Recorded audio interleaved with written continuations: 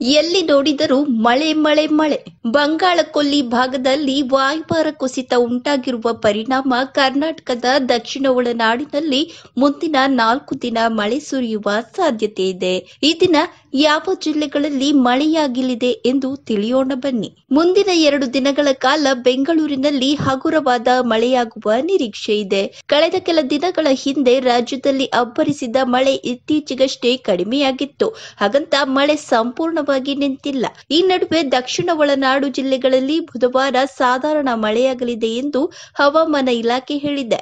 ರಾಜ್ಯದ ಹಲವೆಡೆ ಮೋಡ ಕವಿದ ವಾತಾವರಣವಿದ್ದು, ತುಂತುರು ಮಳೆಯಾಗುವ ಸಾಧ್ಯತೆ ಇದೆ ಎಂದು ಹವಾಮಾನ ಇಲಾಖೆ ಮುನ್ಸೂಚನೆ ನೀಡಿದೆ. ಬಂಗಾಳ ಕೊಲ್ಲಿ, ಅರಬ್ಬಿ ಸಮುದ್ರದಲ್ಲಿ ವಾಯುಭಾರ ಕುಸಿತ ಹಿನ್ನೆಲೆಯಲ್ಲಿ ರಾಜ್ಯದಲ್ಲಿ ಸಾಧಾರಣ ಮಳೆಯಾಗಲಿದೆ. ಕರ್ನಾಟಕದ ದಕ್ಷಿಣ ಒಳನಾಡಿನಲ್ಲಿ ಮಳೆ ಇರಲಿದ್ದು ಚಳಿ ಸಹ ಹೆಚ್ಚಾಗಲಿದೆ. ಚಿಕ್ಕಬಳ್ಳಾಪುರ, ಬೆಂಗಳೂರು, ಕೋಲಾರ, ಹಾಸನ, ಚಿಕ್ಕಮಗಳೂರು, ಶಿವಮೊಗ್ಗ ಭಾಗದಲ್ಲಿ ಸಣ್ಣ ಪ್ರಮಾಣದ ಮಳೆಯಾಗುವ ಸಾಧ್ಯತೆಗಳಿವೆ ಎಂದು ಹೇಳಿದೆ. ಉಳಿದಂತೆ ರಾಜ್ಯದ ಹಲವು ಜಿಲ್ಲೆಗಳಲ್ಲಿ ಒಣಹವೆ ಮುಂದುವರಿಯಲಿದೆ.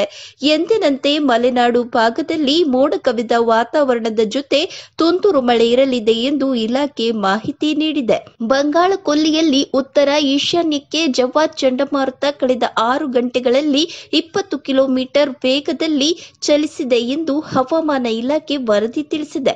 ಇನ್ನು ಗೋಪಾಲ್ಪುರದಿಂದ ತೊಂಬತ್ತು ಕಿಲೋಮೀಟರ್, ಪುರಿಯಿಂದ ನೂರ ಇಪ್ಪತ್ತು ಕಿಲೋಮೀಟರ್, ಪರದ್ವೀಪ್ನಿಂದ ಇನ್ನೂರ ಹತ್ತು ಕಿಲೋಮೀಟರ್ ದೂರದಲ್ಲಿ ಚಂಡಮಾರುತ ಕೇಂದ್ರೀಕೃತವಾಗಿದೆ ಎಂದು ಹವಾಮಾನ ಇಲಾಖೆ ತಿಳಿಸಿದೆ.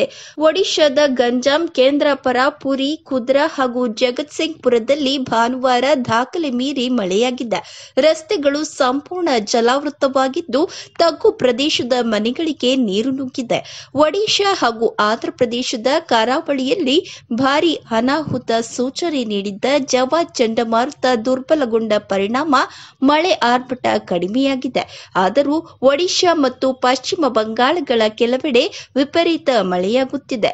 ಈ ವಿಡಿಯೋ ಇಷ್ಟವಾದರೆ ಲೈಕ್ ಮಾಡಿ, ಸಬ್ಸ್ಕ್ರೈಬ್ ಮಾಡಿ, ತಪ್ಪದೇ ನಿಮ್ಮ ಸ್ನೇಹಿತರಿಗೆ ವಾಟ್ಸಪ್ನಲ್ಲಿ ಶೇರ್ ಮಾಡಿ.